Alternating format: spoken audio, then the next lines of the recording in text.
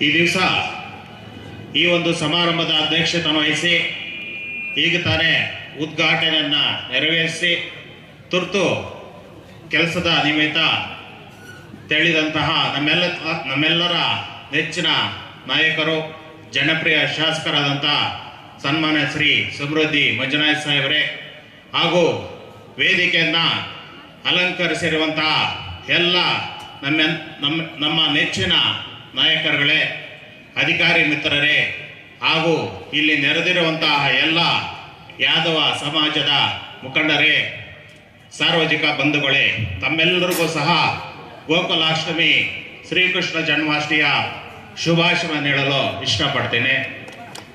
ಅದರ ಜೊತೆಗೆ ತಮ್ಮೆಲ್ಲರಿಗೂ ಗೊತ್ತಿದೆ, ಶ್ರೀಕೃಷ್ಣ ವಿಷ್ಣುವಿನ ಅತ್ಯಂತ ಶಕ್ತಿಯುತ ಒಂದು ಅವತಾರ.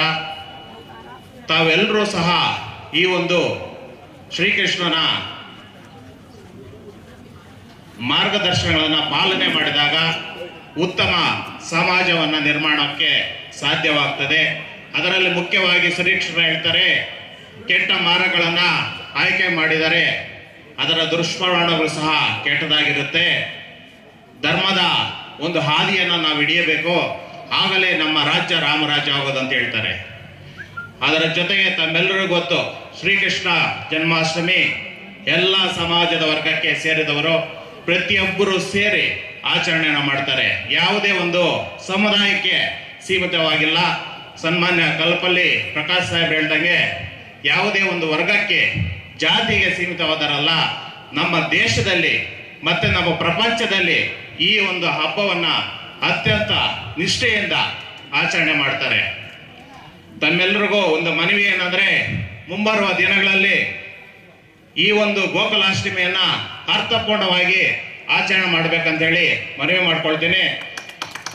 ಅದರಲ್ಲಿ ಮುಖ್ಯವಾಗಿ ತಮ್ಮೆಲ್ಲರಿಗೂ ಗೊತ್ತು, ಒಂದು ಕೆಲವೊಂದು ರಕ್ತದಾನ ಶಿಬಿರಗಳನ್ನು ಆಯೋಜನೆ ಮಾಡೋದ್ ಮುಖಾಂತರ ಬಡಬಗ್ಗರಿಗೆ ಒಂದು ಪುಸ್ತಕಗಳ ವಿತರಣೆ ಮಾಡೋದ್ ಮುಖಾಂತರ ಮತ್ತಷ್ಟು ರೀತಿಯಲ್ಲಿ ಎಲ್ಲ ವರ್ಗದವರು ಸೇರಿ ಆಚರಣೆ ಮಾಡ್ಬೇಕಂತೇಳಿ ಮನವಿ ಮಾಡ್ತೇನೆ.